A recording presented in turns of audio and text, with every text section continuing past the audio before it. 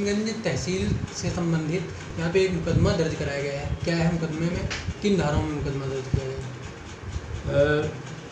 हसनगंज तहली, तहसील में जो न्यायालय की अभिरक्षा में रखे हुए अभिलेख थे, वो न्यायालय द्वारा तलब किए जाने पर रिकॉर्ड रूम में उपलब्ध न होने के कारण कलेक्ट्रेट के प्रशासनिक अधिकारी द्वारा थाना कोतवाली पर एक लिखित तहरीर दी गई, जिसमें दो दो जुलाई 2012 से लेके अब तक के जितने भी रिकॉर्ड रूम में कार्यरत अरेंजरों व चतुर्थ श्रेणी कर्मचारी थे, उनका दायित्व निर्धारण करते हुए उनके विरुद्ध अभियोग पंजीकृत करने की अपेक्षा की गई है। इस आधार पर थाना कोतवाली में धारा तीन चार सौ नौ के अंतर्गत अभियोग पंजीकृत कर विवेचना की जा रही है।